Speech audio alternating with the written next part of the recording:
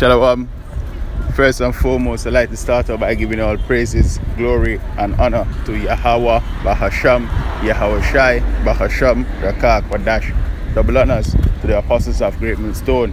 Salute to the elders who rule well. Shalom to the hopeful elect. So the name of the Heavenly Father, his name is Yahawah. The man the world ignorantly called God or Jehovah, his name is Yahawah.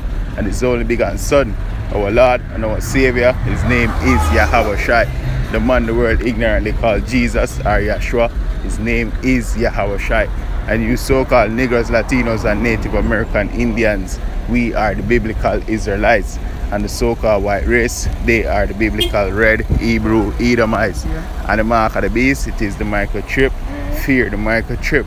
So this is your brother Yaramia from Jamaica GMS Kingston.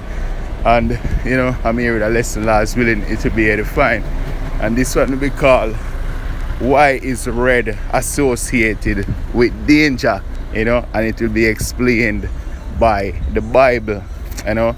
And here I have an article, you know, stating why is red associated with danger explained using science and psychology yeah so you know we are touch some of these you know points in this article and get some scriptures showing you why red is associated with danger. All right so red has been used since um, the immoral of the symbolize um, symbolize love.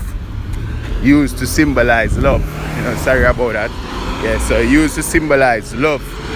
Um, passion heat and fire but red is also um, the traditional color of danger. Hatred warning and danger. You see that? So it's the traditional color of anger. Yeah anger. I said danger earlier i'm sorry. You know so it's anger hatred warning and danger.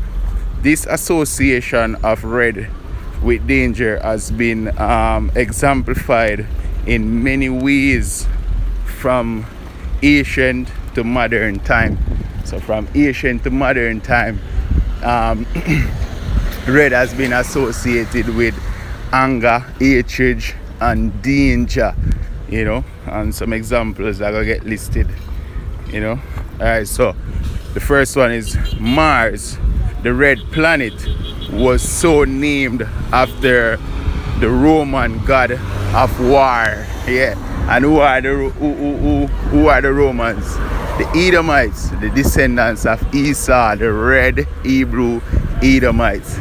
So it's no coincidence the red planet was named after a roman god god of war.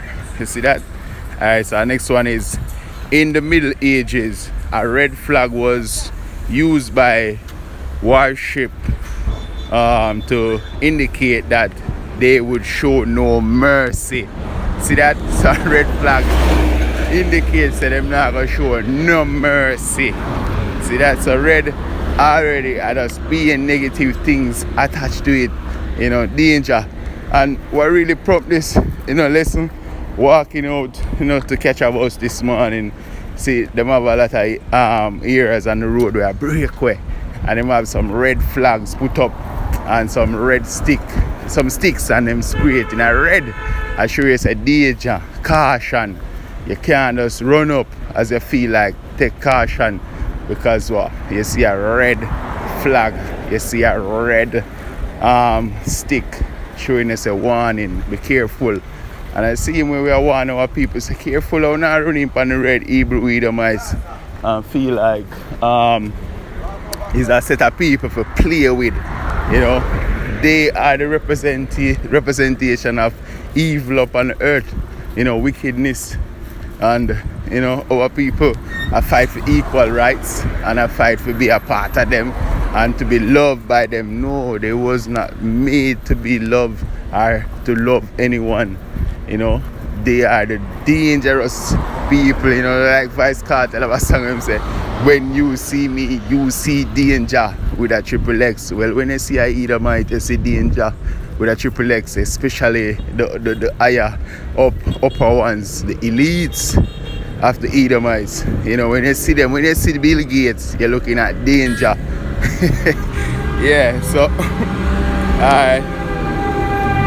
Uh, alright. So it said no mercy to their enemy. Yeah, so when the red flag get erected, they mean no mercy to them enemy. A red flag was also used by defenders of a town or castle to indicate that they would fight to defend it. The term red, um, uh, the term red alert originated in World War II to de um, designate um, the ice level of alert to prepare for an enemy attack or combat. It was a signal abroad, no aboard um, naval ships, no naval warships for everyone available to go to battle battle station as quickly as possible since then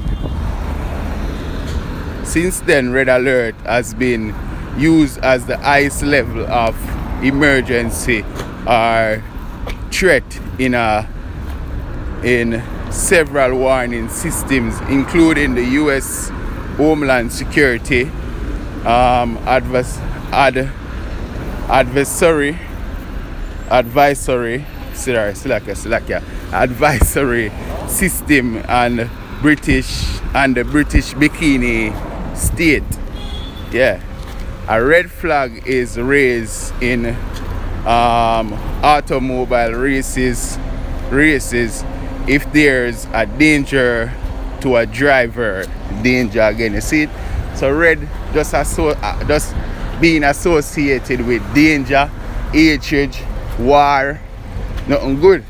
You know? So now walk. So Uh, that's a little bit more than this. Beard me, beard me.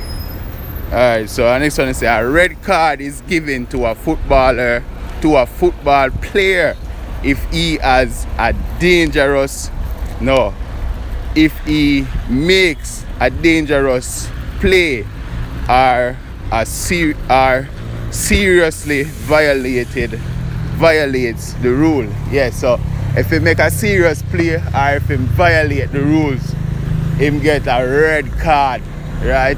Say oh you're, you're, you're bad. So you have to get off of the pitch. You know what I mean? All right so red is used to indicate the highest level of warning or warning of an enemy or terrorist attack. On road red is international color of stop signs and stop light to warn vehicles to stay where, where they are.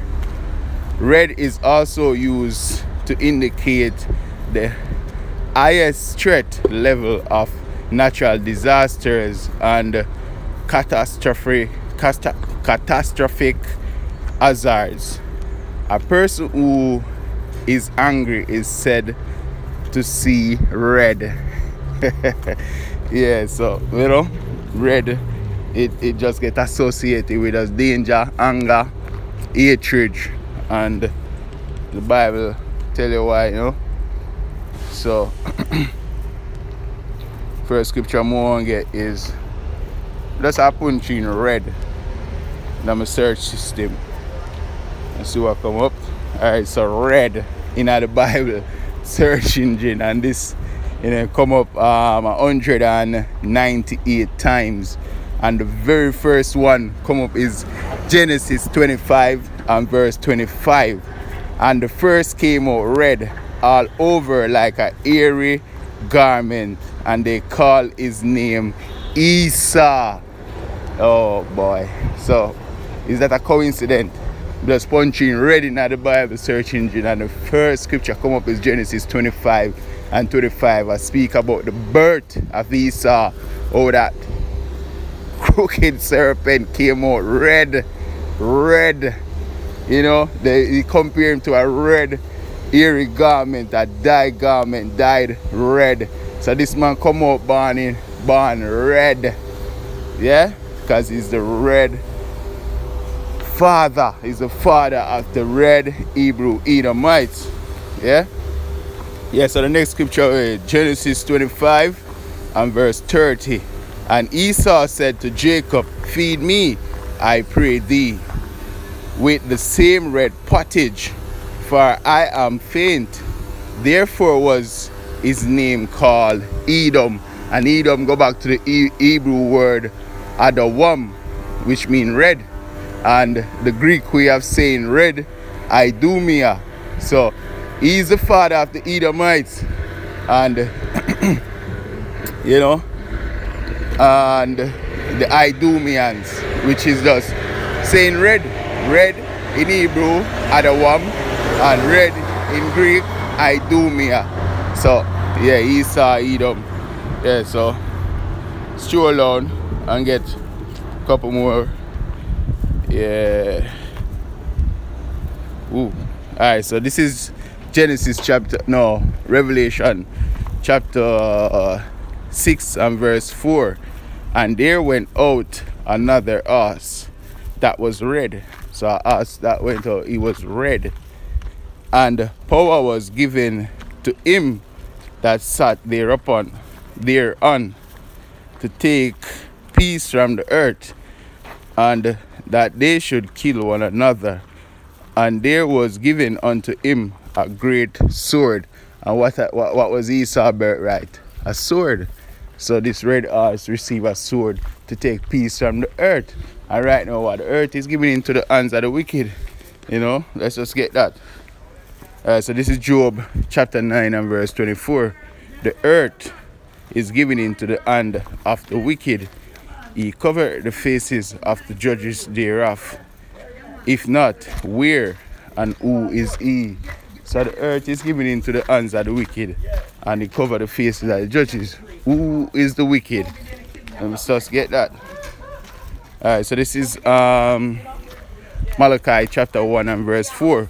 Whereas Edom said, We are impoverished. So who is Edom? The red people. So today they call themselves white, but they are red Hebrew Edomites. Yes? So them say them poor, impoverished. But we will return and build the desolate places. Thus saith the Lord of hosts, they shall build, but I will throw down, and they shall call them the border of wickedness, and the people against whom the Lord had indignation forever. So they are the border of wickedness. The Edomites, the red Hebrew Edomites, the descendants of Esau. They are the red Hebrew Edomites, you know, and you see red done sure says danger, you know. They are brother, they are. So link up. So yeah man. I did a little program sir. Alright, so you know Oh, I'm yeah. I'm alright man. Alright, so um next precept I want to get to is Revelation 12 um, verse um 3 and there appeared another wonder in heaven, and behold, a great red dragon. See that? A red dragon. Eh, the, the Roman Empire. And to the day they are, you know, NATO, EU, you know, that's the Rome. That's Rome all over. America being the Rome and his allies, you know, the European Union. Yeah, so, you know. it's a red dragon because it's what predominantly it let me say it's like yeah it is all Edomites Edomites red Hebrew Edomites. So it's a red dragon having seven heads and ten horns and seven crowns upon his head. Yeah so the red Hebrew Edomites and that is them. You know Esau Edom. Yeah so you know red is associated with danger and that is why.